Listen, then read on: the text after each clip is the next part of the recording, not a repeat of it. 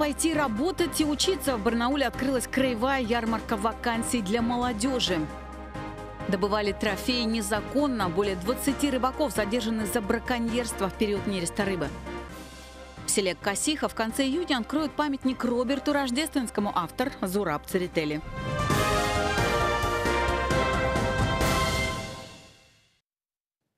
Вы смотрите наши новости в студии Татьяна Голубева. Здравствуйте. Сегодня в Барнауле проходит краевая весенняя ярмарка вакансий и учебных мест. На одной площадке встречаются потенциальные работодатели, молодежь, представители учреждений дополнительного образования. Каждый желающий может ознакомиться с перечнем вакансий и получить необходимую консультацию. Причем для тех, кто не сможет лично посетить площадку, будет налажена связь в формате видеоконференции.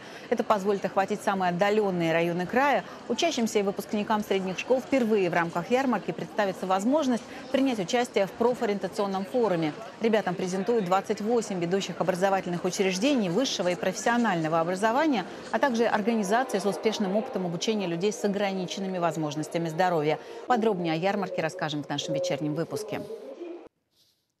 Серьезная авария произошла накануне в Барнауле. На въезде на Новый мост перед КП столкнулись два легковых автомобиля RAV4 и Volkswagen Touareg. По предварительной версии, виновником аварии стал водитель RAV.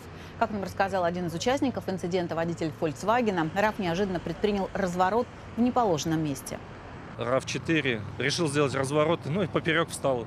Попытался уйти влево, но, соответственно, он дальше ехал влево. Ну и столкновение произошло. В результате обе машины получили серьезные повреждения. Водитель РАФ, а также пассажир женщина получили травмы разной степени тяжести. Их увезли в одну из городских больниц. Водитель Туарек, по его словам, получил ушиб руки. От госпитализации отказался. Точную причину аварии сейчас предстоит выяснить правоохранителям.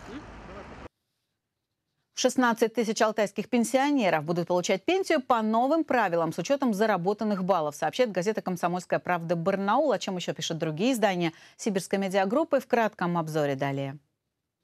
В Алтайском крае проживает больше 750 тысяч пенсионеров. Большая часть получает страховую пенсию, что выплачивается по старости, инвалидности, либо по случаю потери кормильца. В этом году 16 тысячам земляков насчитали пенсию по новым правилам, то есть с учетом заработанных индивидуальных пенсионных баллов. Такой расчет впервые стали применять в 2015-м. Ежегодно число коэффициентов для выхода на пенсию растет. Для тех, кто выходит на заслуженный отдых в 2018-м, для права на пенсию нужно иметь не меньше 9 лет официального стажа и 13,8 баллов. Подробнее об этом читайте в газете «Комсомольская правда Барнаул». Столица края оказалась в списке городов России с наибольшей долей бедных, сообщает Политсибру. Корреспонденты информагентства пишут, что такие данные приводит финансовый университет при правительстве России. Он провел исследование, в ходе которого респонденты оценивали собственный уровень благополучия. Результаты показали, что доля наиболее бедных, то есть тех, кому с трудом денег хватает на питание, в Барнауле составляет 16%. Больше только в Пензе, Воронеже, Нижнем Новгороде и Волгограде. Желаете ознакомиться с другими данными исследования, читайте Политсибру. А вот московский комсомолец на Алтае посвятил материал капитальному ремонту Чуйского тракта. Сейчас работы ведутся в зональном районе края. Как сообщили МК на Алтае, в начале объекта на 336-м километре Дорожники разобрали существующую трассу и понизили уровень земляного полотна. На 341-м километре, наоборот, подняли насыпь на 5 метров, чтобы обеспечить нормативный радиус. На эти мероприятия потребовалось 95 тысяч кубометров грунта. Отметим, что на новых участках Чуйского тракта дорожная одежда будет состоять из трех слоев асфальтобетона. Елена Макаренко, наши новости. С сегодняшнего дня от Заринска до Барнаула можно доехать на скором электропоезде. Стоимость проезда 120 рублей. Ходит пригородный только в рабочие дни. Со станции Заринска электропоезд отправляется в 7.30 утра, а в краевую столицу прибывает в 9. Таким образом, время следования составляет полтора часа. В пути у него только три остановки. Станция Шпагина, Бешенцева и Алтайская. На других станциях и остановочных пунктах посадка и высадка пассажиров не производится.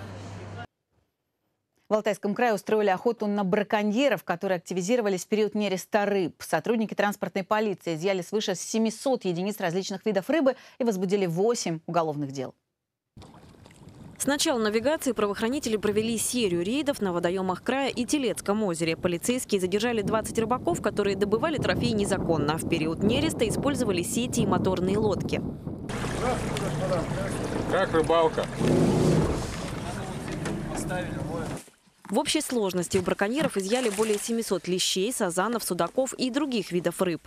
У одного из нарушителей, который рыбачил в протоке Аби у Барнаула, забрали экземпляр нельмы, особо ценной породы рыбы, занесенной в Красную книгу. 76. Транспортные полицейские возбудили 8 уголовных дел по статье «Незаконная добыча водных экологических ресурсов». У двух нарушителей правоохранители конфисковали рыболовные снасти и судно. Каждого из браконьеров ждет крупный штраф либо лишение свободы на срок до двух лет. Елена Макаренко, наши новости.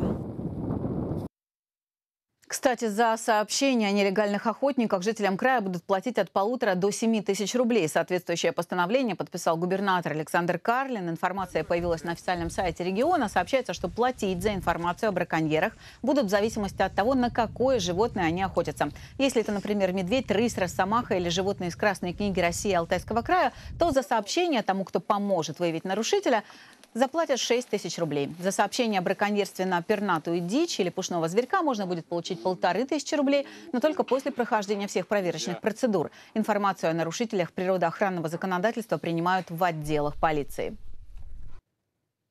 23 июня в селе Косиха откроют памятник Роберту Рождественскому. Он был изготовлен по просьбе дочерей поэта скульптором Зурабом Церетели, сообщают в пресс-службе Управления по культуре региона.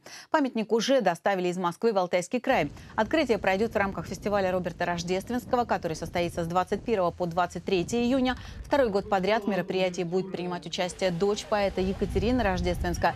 В прошлом году фестиваль посетили также такие известные артисты, как Тамара Герцетели, Максим Аверин и Александр Маршал. Меньше месяца остается до старта домашнего для нашей страны чемпионата мира по футболу. Болельщики Салтая уже готовы поддержать команду Станислава Черчесова. Кто-то непосредственно на стадионах, кто-то у экранов ТВ. Так вот, для вторых особенно будет интересна следующая информация. Во время игр сборной в Барнауле будет открыта фан-зона.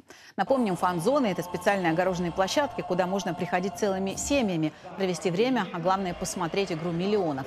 Итак, в Барнауле, по нашей информации, такая площадка, скорее всего, будет работать в парке спорта Алексея Смертина. На двух больших экранах размером 7 на 4 метра покажут трансляции матчей сборной страны.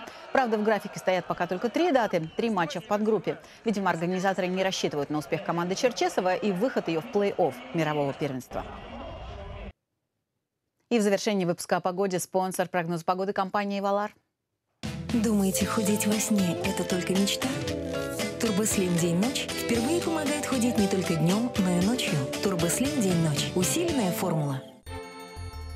На большей территории края дожди, ветер юго-западный умеренный, Валейский и Заринский плюс 17, в Бийске, Кулунде и Тальменке до 18 тепла, 24 дождь в Рубцовске, в Барнауле дождь и до 18 со знаком плюс. Полная картина дня в нашем вечернем выпуске. До встречи.